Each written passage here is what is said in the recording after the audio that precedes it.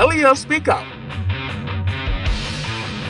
Ngomongin soal petinju Indonesia yang mendunia, nggak afdol rasanya kalau nggak bahas The Legend Elias Pikal. Petinju kelahiran Saparua, Maluku pada 24 Maret 1960 ini adalah petinju Indonesia pertama yang menjadi juara dunia jauh sebelum era Chris John maupun Daud Yordan. Petinju legendaris ini aktif berkarir tinju profesional sejak tahun 1982 hingga 2000. Selama karir tinju profesionalnya ini, Elias tercatat melakoni 26 pertarungan dan berhasil memenangkan 20 di antaranya.